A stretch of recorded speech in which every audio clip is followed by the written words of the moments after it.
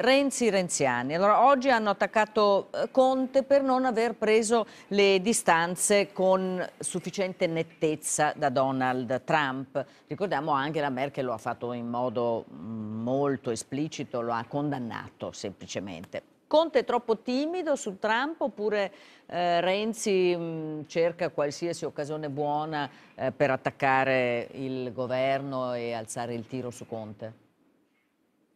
La seconda che hai detto, però io ho fatto un fioretto per questo 2021 e cioè risparmiarmi l'inseguimento dell'ultima dichiarazione dell'ultimo esponente di quel partitucolo insignificante che sta facendo soltanto danni a, al nostro paese. Quindi mh, preferirei astenermi e occuparmi di cose serie perché appunto le cose serie sono tante. Ecco, ma non sei ehm... preoccupato per la solidità del governo? Non sei preoccupato che vada tutto a catafascio e che magari ci ritroviamo ad andare, non lo so, a elezioni anticipate? Certo, queste sono le cose serie, non eh, le dichiarazioni sul tweet eh, di questo o di quell'altro. Um, è proprio una questione di igiene, secondo me, cominciare a ignorare i, i tweet di certi personaggetti.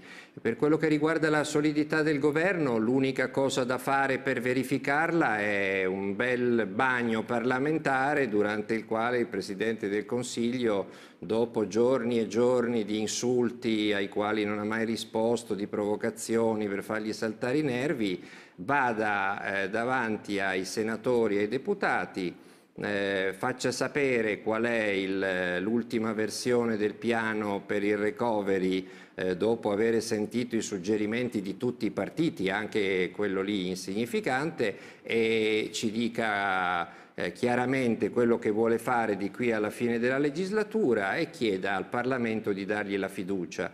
Se il Parlamento gli darà la fiducia andrà avanti, se no a quel punto la palla passerà al Presidente della Repubblica e la faremo finita con questa manfrina, perché già eh, questo mese eh, ci è costato uno sputtanamento internazionale sufficiente io credo che gli altri paesi d'Europa stiano guardando all'Italia domandandosi se siamo diventati matti. Eh, a parlare di crisi di governo, elezioni anticipate, crisi al buio, rimpasti, cose del Ma genere. Ma quindi vanno bene anche i responsabili, Marco? Vanno bene anche i responsabili per, uh, perché se Conte ah, va alla conta in Parlamento e eh, se i renziani si sfilano come hanno ribadito anche questa sera, qualora eh, Conte non accettasse tutte le loro richieste, eh, chi è che dà la fiducia al governo Conte? I cosiddetti responsabili che sono pezzi di Forza Italia per esempio.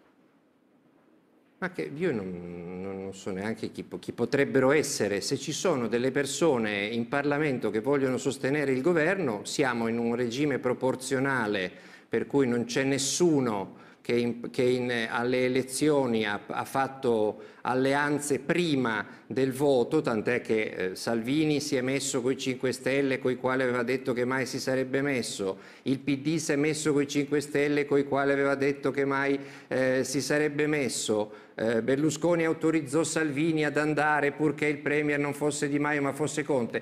Siamo in un regime proporzionale a causa di una legge elettorale che tra l'altro non ho fatto né io né te né Sallusti né, né Severgnini, l'hanno fatta Renzi, Salvini e Berlusconi e così si gioca con le regole che ci sono. Se ci sono delle persone che votano la fiducia al governo, il governo regge, altrimenti o ne trovano un altro oppure si va a votare.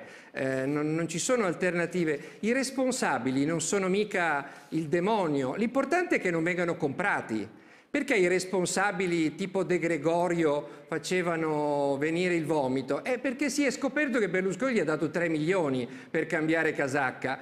Ma se un parlamentare per garantire la fine della legislatura alla scadenza naturale e quindi il suo posto di lavoro, il suo stipendio, vota la fiducia al governo gratis e nessuno gli offre niente di illecito in cambio, sono le regole della democrazia parlamentare in un sistema proporzionale. Allora. Se non li trovano si va a votare, eh, basta. Eh. Certamente è molto meglio eh, se si trovano questi signori che non sottoporsi tutte le sante mattine alle, alle bizze e ai capricci di una banda di disperati che se si tornasse a votare verrebbe rasa al suolo, come è il destino di questo governo dall'ultimo mese in avanti e anche un anno fa, perché un anno fa se non ci fosse stata la pandemia eh, il governo sarebbe caduto probabilmente su quell'altro argomento fondamentale che era la riforma della prescrizione. Quindi eh, è evidente che un governo non può stare allora, attaccato a questi ricattatori.